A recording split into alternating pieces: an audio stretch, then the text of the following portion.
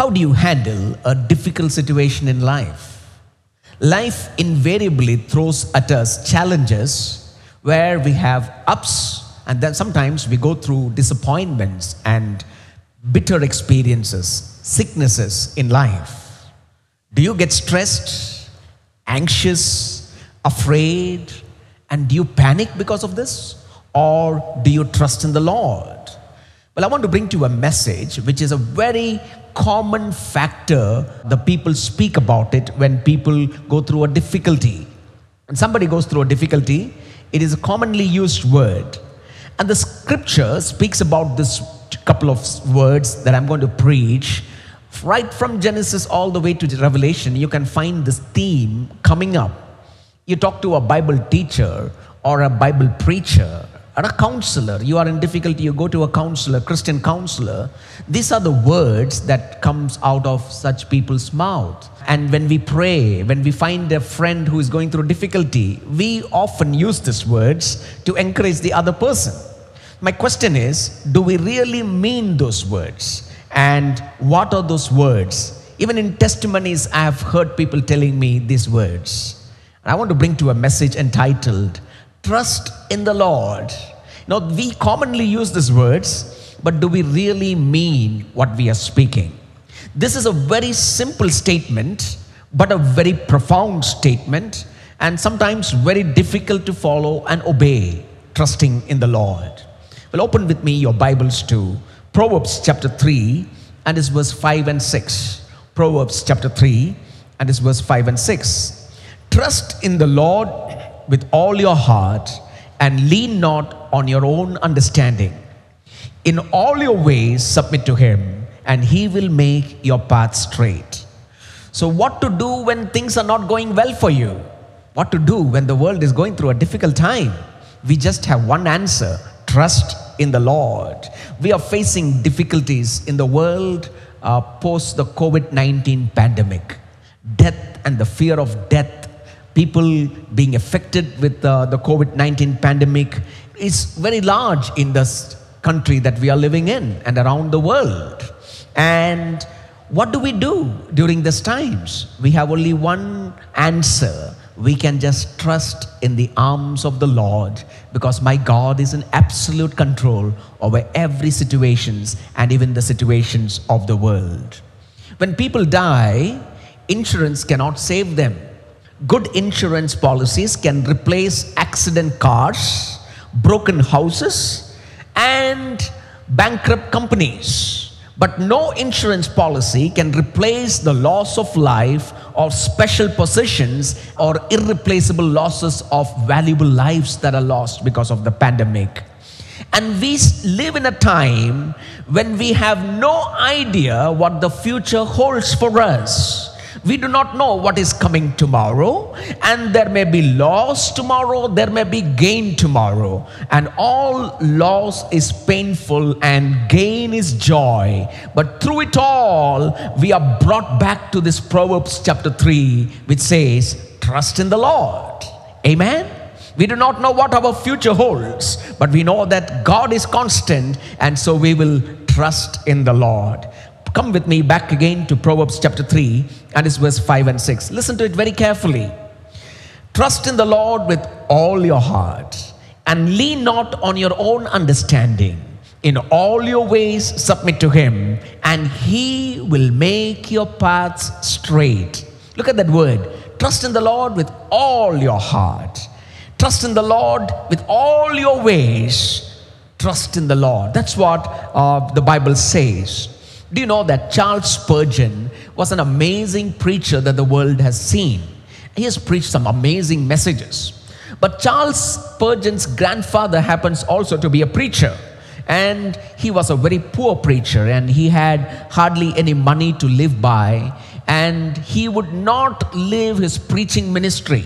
He will not stop preaching to take up a special job to support for his own livelihood. What he had is he had a cow that would give him milk. James Spurgeon had a cow that would supply milk for him to live and to sell, and, then he went about preaching. One fine day, his wife came and told him, The cow that used to support us died, and there is no way we can move forward. James Spurgeon decided that he will not stop preaching. And uh, he said, Let us trust in the Lord, and God will provide. Tomorrow is in the hands of God. Let us trust in the Lord. You know what happened back in London? They were doing a collection for missions that day, and they decided with all the collections, they will send it to needy pastors. And they designated all the money, and all the pastors had been supplied, and they came up with an excess of five pounds. And somebody said, Let us give it to James Spurgeon. Maybe he's also preaching the gospel, he's in some need. And they decided, now that we are sending it to James Spurgeon, he's a wonderful preacher and we have been so blessed by him, let us not send five pounds, let us collect some more money and send him. And at the end of the day, they collected around 20 pounds and it reached James Spurgeon. Can you imagine the work of God? On one side, his wife is telling, The cow has died and there is no way we can live. But on the other side, as this man of God trusted God in his difficult times, God opened supernatural doors and God provided for the servant of God. You can trust God to keep his promises and provide for your needs. I have tasted that in my life. There have been times when I did not know what tomorrow will hold for me. And when we have trusted God, God supernaturally provided for me and my family. We have a problem with trusting God because of several factors of this world. The reason we are not trusting God is because we are relying on many other things rather than putting our trust in God. I was just thinking to myself, what are the things that keeps me away from trusting God? And you can introspect your lives based on the list that I'm going to give you. Why are we not able to trust God the way we can trust God? Know, Jesus said, Do not worry about the lily or the sparrows. I will provide for you. And very clearly, the Bible said, Do not be anxious, do not be worried. I seek first the kingdom of God, and all these things, whatever you need, food, clothing, will be provided for you. That's the promise of Jesus to us. But why are we not able to trust God? Why are we getting anxious? Why are we getting worried? Reason number one is that we are far too self sufficient. We feel that our own resources, our own education, our own abilities can bail us out of difficult circumstances. While God has given you abilities and resources, praise God for that, but our trust is not in our abilities and resources. Our true trust is in the Lord who will never fail us. My dear child of God, thank God for the GPS. Today, with the GPS, you can avoid a traffic jam. You know, when, when you see that there is a traffic jam, the GPS will redirect you and you can avoid traffic jam. But major lessons in life cannot be avoided by our intellect. Major lessons of Bible that God wants to teach us cannot be avoided by our smartness. We need to endure those times and we are not sufficient and we got to trust God during those times and tell God, I know that I don't know everything. You are all sufficient and I will trust you. So, number one reason why people do not trust God is because they are too far too self sufficient. Secondly, uh, we are too quick to call on other people. We are too quick to seek help from other people. As life progresses, we have good friends, friends in good position, and friends in political lines, and friends with a lot of money. And what do we do when we are stuck with a situation? Instead of trusting God, instead of calling the heavenly dial, we call human people and ask for human solutions. And that is the reason why we cannot trust God. We know that if we have a health problem, this is a person to dial. If we have a financial problem, this is a person to dial. But we must know that beyond every human help, there is help in the presence of God. And when you trust in the Lord, He will give you the right help that is needed for us. This morning, beyond every connections that we have, we need to trust in the Lord. Amen. And thirdly, we don't trust in the Lord because sometimes we feel we are far away from God. We feel so distant from God. We feel that God is a God in heaven and He's not concerned about the things of this world. While you cannot see God, you can experience God. God is right over here. When you are going through struggle, He is right in your hospital bed. When you are going through loneliness, He is right beside you. He is with us. And Jesus said to His disciples, I am with you always to the very end of the age. But many times we don't realize that and we feel distant and far from God in our troubles. And that's what even the servant of God David felt. You know, when he faced opposition in chapter 13 of Psalm and his verse 1, David said, How long, Lord, will you forget me forever? How long will you hide your face from me? In other words, David also has his time where he felt he was far from God and God was not listening to him. God was not concerned about his situations and we feel far from God. And let me remind you, God is close to the brokenhearted. When you go through a situation, when you feel that you are all alone and how can you handle this difficulty, my God is right beside you. Trust in the Lord and He will make a way where there is no way in your life. Amen. And the fourth reason why we don't trust in the Lord is because we worry a lot. We are worry a lot, and it is natural fallen tendency that we worry, man worry. And think about it is your prayer list bigger or your worry list bigger? Many times our worry list is far bigger than our prayer list. Now, if you trust in the Lord, our worry list will be next to minimal and we will not worry about anything. Yes, I know that there are worrying circumstances. There are circumstances that can make me anxious. There are circumstances that can make me afraid. But I'm not looking at those circumstances. As a child of God, I will put my trust in the Lord Jesus Christ. Amen. Now, I put together some things that uh, reveal how little we trust God. There are certain things that I want to bring to you that reveal to us our true heart condition and tells us how little we uh, trust God. First of all, when you choose to worry, you do not trust God. Today, you can either worry or you can have faith to know that God is in control over your situations. So when you choose to worry, you do not trust God. When you fix what is impossible, you do not trust God. When you hurry ahead and don't wait for the Lord to move and change you, you don't trust God. When you lie awake twisting and turning at night, you don't trust God. When we don't get sleep and we are worried about what our tomorrow will bring, that simply tells to us that we don't trust God. When you doubt biblical principles and promises that are in the Bible, you don't trust God. When you go to others first for help, you do not trust God. When you listen to human counsel and give higher priority for human counsel than the principles in the Bible you have just learned, you do not trust God. When you manipulate and maneuver situations by your own might, you do not trust God. When you step in and take charge of things in your life without praying and being led by the Spirit of God, you do not trust God. When you cling to others in order to feel secure, you do not trust God. When you want to be loved by others than by God, you do not trust God. And the list can go on and on and on in our lives. You see how easy it is for us to live in the flesh and to disobey trusting God. And if we are a child of God, trusting God is the number one principle that by which we can have a good and successful Christian life. What are the things that are keeping you away from trusting God? What are those things that has come into your life that is keeping you away from truly trusting in God. Amen. Remember, God called Abraham. And when God called Abraham, God told him that I'm going to make a nation out of you. I'm going to give you a child. I'm going to give you a land. And what did Abraham do?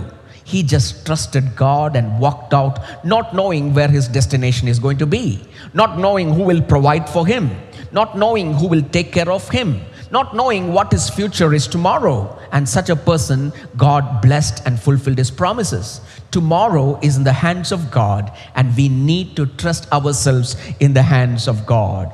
There was once a party time in the Bible. All his brothers and everybody were meeting together in a house and they were all partying. The eldest brother in the house throws a big party and he invites all his brothers and sisters, Come over to my house. Let us party. Let us have fun. And they had a God fearing father. Every time after the party, uh, the father would do a sacrifice, thinking that in that party, somehow my children would have sinned. And in one such party, we can find that while they were having a good time together, when everybody was joined, there was a great feast, lots of fun, and lots of laughter. But suddenly, when everybody was feasting, something happens. A mighty wind comes in and strikes the four corners of the house. The house collapses on them, and all these children die. Everything happens just in a moment. Can you imagine the scene? Suddenly, the party scene is shifted and it's become the scene of a cemetery. There are deaths of people. Almost entire family, except the parents, have died. And the news reaches the uh, ears of Job.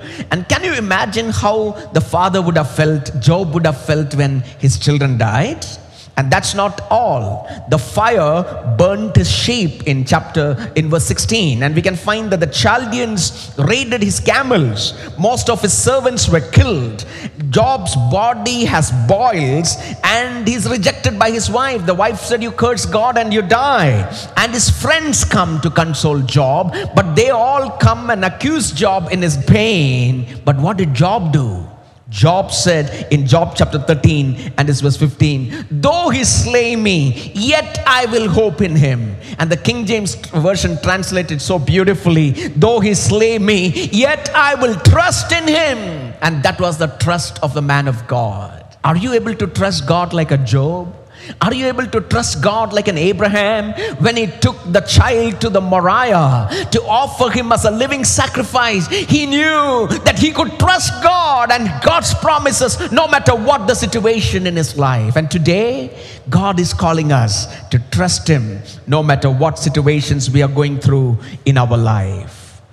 What do you do to trust God? How practically we trust God, and what are the things that I must do so that I can trust God? Come with me uh, to 1 Samuel chapter 30. 1 Samuel and it's chapter 30. All of you open your Bibles to 1 Samuel chapter 30.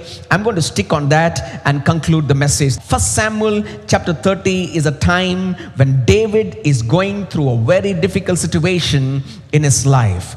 And do you know that David, the shepherd boy, was summoned by King Saul to play harp for him in the palace? And Saul was so pleased with David because now David is so popular after uh, slaying Goliath. Everybody knows about David, and now he's playing harp in the palace. And uh, Saul feels comforted. His spirit is lifted up because the evil spirit has departed from him.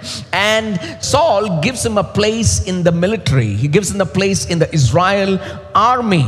But very soon, Saul is moved with jealousy against David and he chases after David for his life. So, Saul is so much of eaten with envy and jealousy and mistakenly thinks that David is trying to steal his throne. So, he started chasing, trying for a way to assassinate David. David, afraid for his life with his few men, he ran away from the palace of King Saul and he even went all the way to the enemy camp, Philistine camp. Can you imagine? He killed their head Goliath. And now to find refuge, where is he ended up? He has ended up in the Philistine camp and they accepted him and they gave David and his men a place called Ziklag for a couple of years to stay. And David was staying over there. And now, what is David doing? He is allying with the Philistines and is fighting for uh, Philistines against other countries. And now it came to a position that the Philistines and the Israel army are coming for a battle. And David aligns with Philistines, goes all the way three days distance to the battle, aligning with Philistines to go and fight with Israel. But suddenly, as they are in the battle lines, the battle is going on, the counselors of the Philistine king said, See, David is a Hebrew, his men are all Hebrews. What if they turn against us in the battle and they also fight against us? We will be destroyed. So the Philistines came up with a strategy and told David and his men, In this battle against your own people, you don't have to come. You just turn back and go to your place and rest. We will win the battle and come back. So David and his men, around 600 people were with David, fighting men, all armed people, people with strength to fight battles, they have gone to the Philistine camp. Probably they battled a couple of days and they are tired, they are weary, they are sweaty. They walk three days from the battlefield and comes all the way to their hometown to take some rest, to have some delicious meal, to see their wives and children, and to spend some time of rest. But as David and his men were tired coming after three days of walk, all they could see from far was smoke rising from the town of Ziklag, and they were concerned. Come with me to 1 Samuel chapter 30, and it's verse 1 to 3. David and his men reached Ziklag on the third day, now the Amalekites had raided Negev and Ziklag. Can you imagine what happened when David and his men with the Philistines went to fight the Israelites? Another enemy, Amalekites, have come from another direction and has raided the camp where David's wives and the soldiers' wives are camping. So that's what. Now the Amalekites had raided Negev and Ziklag. They had attacked Ziklag and burnt it. Verse 2 and had taken captive the woman and everyone else in it, both young and old. They killed none of them, but carried them off as they went on their way. When David and his men reached Ziklag, they found it destroyed by fire, and their wives and sons and daughters taken captives. Perhaps you have had days like that in your life where days where the sun refused to shine, days where you thought that it is all over. Can you imagine David seeing smoke from his camp where his family is residing, runs to the camp to see what is happening, and they find only smoke and rubble and dust and ashes. Children are not to be seen, wives are not to be seen. And can you imagine what would have been the first thought? Our children are killed, our wives are killed and all my place, what I thought was security, it is all in ashes and dust, and I have no hope for tomorrow. Sunset on the life of David. He thought that everything is over. And uh, listen now, when he thought that everything is getting worse, things are getting even worse for the life of David. See the response of David. First Samuel chapter 30 and his verse 4. Read it very carefully. First Samuel chapter 30 and his verse 4. So David and his men wept aloud until they had no strength left to weep. He could not weep. He was crying and he cried in such a way that there is no more strength left to weep. Have you come across situations like that? You're so filled with grief and tears that you don't have any more tears to weep. Never think that trusting God means that you do not weep. We are not to tell we people who weep, don't weep, everything will be okay. In pain, I have gone through situations where I have sat and wept. Sometimes I've seen people weeping because of the loss of their loved ones, and I have sat and wept with them. We weep, but we don't weep like the world, we weep with hope. We grieve. We don't grieve like the world, we grieve with hope that there is everything renewal coming at the coming of the Lord Jesus Christ. Because of the resurrection, there is hope in our weeping. Can I hear an amen, church? Amen. I cannot experience loss without tears. If you haven't heard a gospel that you come to Christianity and everything will be okay, that is not the right gospel. We will face every type of challenges that the worldly people are facing. Every type of sicknesses we will also have to face. Okay? If it is God's will for us, we will face. We will go through every challenges. The world go through a financial recession. We will also face a financial recession. The world is suffering with corona pandemic. Sometimes our people can be infected with the corona pandemic. So when we weep, we trust in the Lord Jesus Christ. Things got worse for David in 1 Samuel chapter 30, verse 5 to 6. So David and his men wept aloud until they had no strength to weep. David's two wives had been captured. Ahinoam of Jezreel and Abigail, the widow of Nabal of Carmel. Verse 6. David was greatly distressed because the men were talking of stoning him. And each one was bitter in spirit because of his sons and daughters. Look at that word. David was greatly distressed. If I'm not pulling the meaning of the Hebrew word too long, it also has a meaning of great depression. No, it gives us a meaning that David went into so much of distress that he almost went into depression. Why? His wives have been captured, his children have been captured, and even the wives of his troops have been captured. Now, 600 men who are supporting David and telling that David, we will stand with you no matter what, they are turning against David and taking stones to throw at David. And they're asking David, You were not wise. You took this decision. Did you never think that you should protect our families? Now we have lost our wives and we have lost our children. And his own people uh, came and stood against David.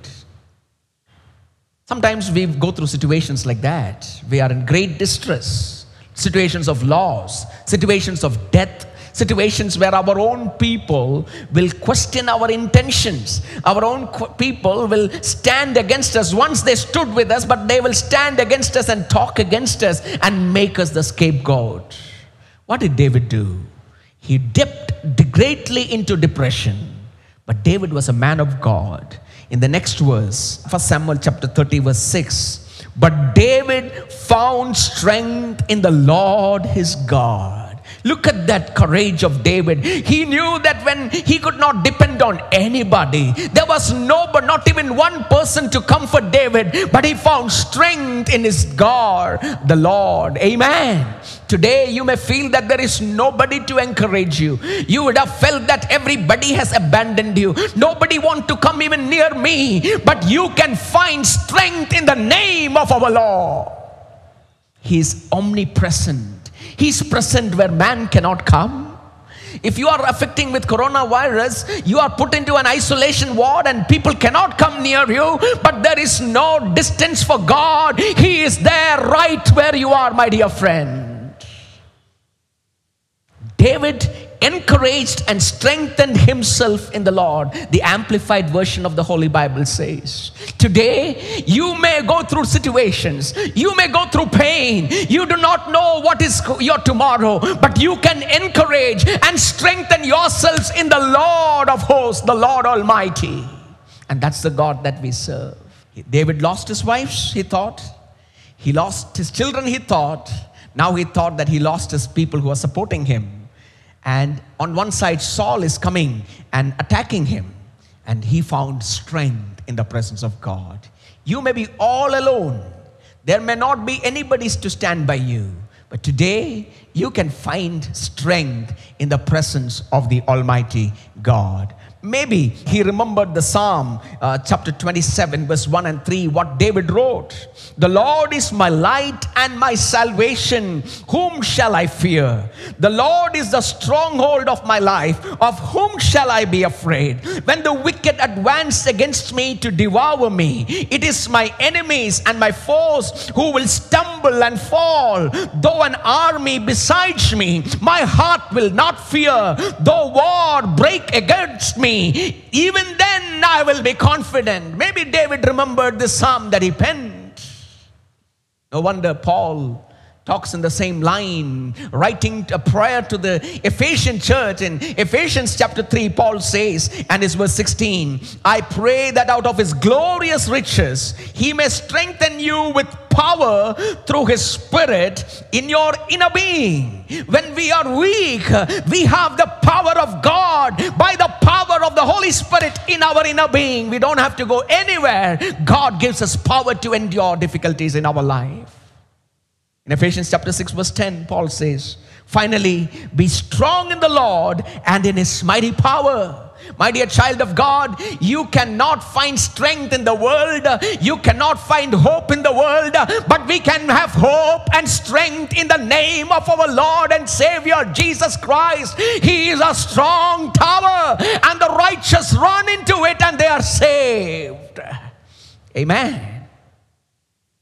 So, how did David find encouragement? He just went to the presence of God, and he not only did that, he inquired of the Lord. Okay, come to First Samuel and chapter 30, and this verse 7 and 8.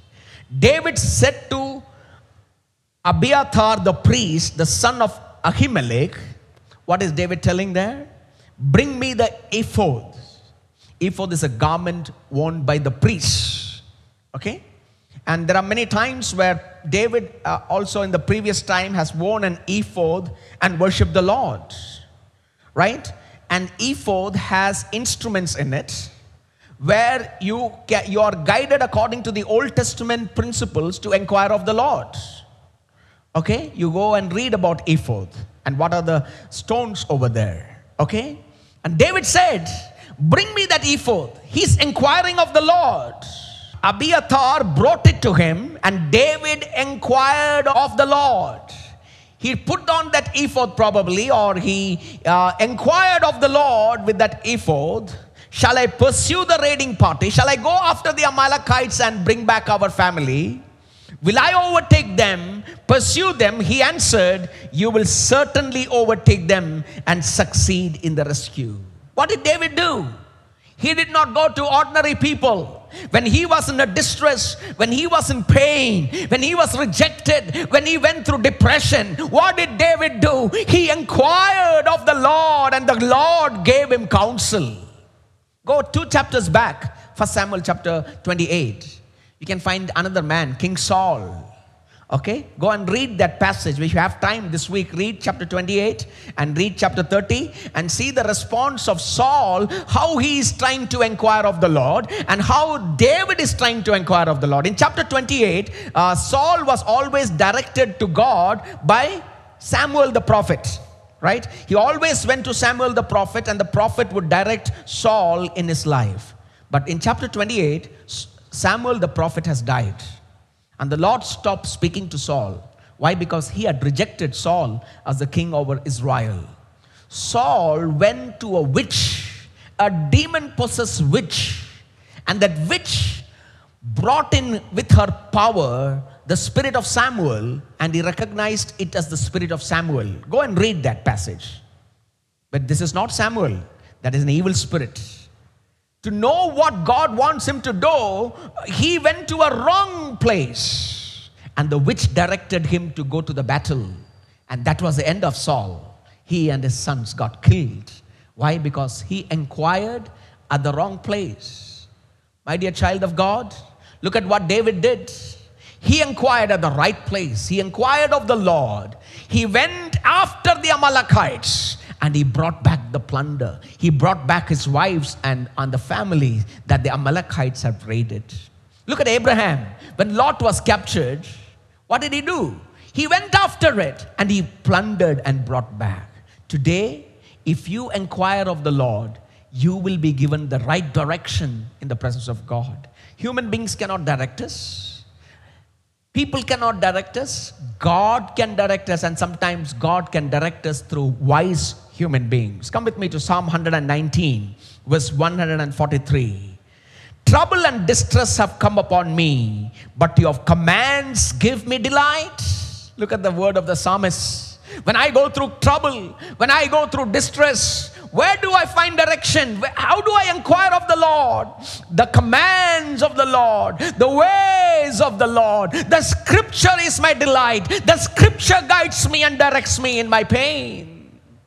God wants to direct you, and that direction is found in the Word of God. In Psalm chapter 1 and this verse 1, the psalmist says, Blessed is the man who does not walk in the counsel of the wicked. Look at Saul and David. The counsel of the wicked, it ended in death. And look at David. Blessed is the man who does not walk in the counsel of the wicked, or stand in the way of sinners, or sit in the seat of the mockers.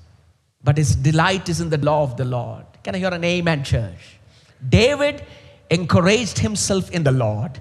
David inquired of the Lord, and God heard his cry. God gave him back his wives and children, and God definitely made David the king over Israel. Today, whom do you trust? Come back with me to Proverbs chapter 3, verse 5 and 6. That's where we started. Trust in the Lord with all your heart and lean not on your own understanding. In all your ways, acknowledge him, and he will make your paths straight. With all your heart, with all your ways, trust the Lord. And that's what the Bible is teaching us. I was just going through this life uh, biography of one of the finest missionaries the world has seen, and I was so moved how he could overcome the distress in his life just by trusting God. I'm talking about Adoniram and Ann Judson. Adoniram Judson are the first missionary couples or the pastoral couples who left the United States, the shore of United States, to go to a distant country. They come all the way after their marriage in 1812.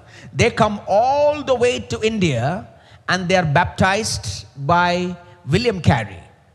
And after being baptized by William Carey, they get the commission for the gospel and they felt in their heart the calling uh, to go to Burma or Myanmar and share the gospel where there is no Christians at all. There is no gospel that has reached Myanmar.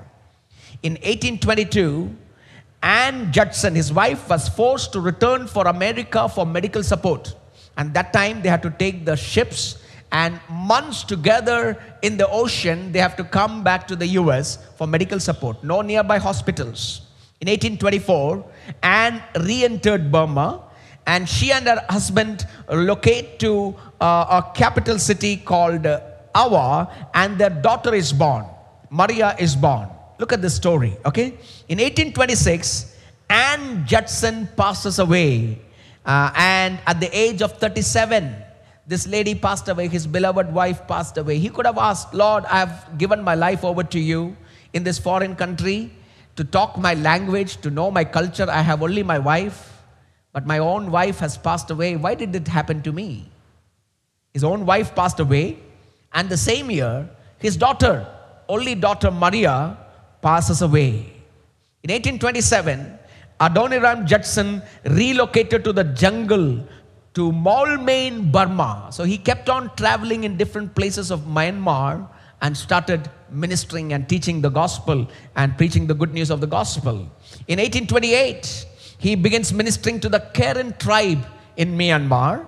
And in 1834, the mission gets married to Sarah Boardman. This is his second marriage. And they have eight children in this marriage.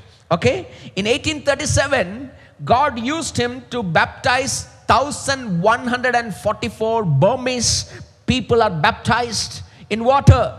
They are the disciples of Jesus and the fruits of his ministry over there.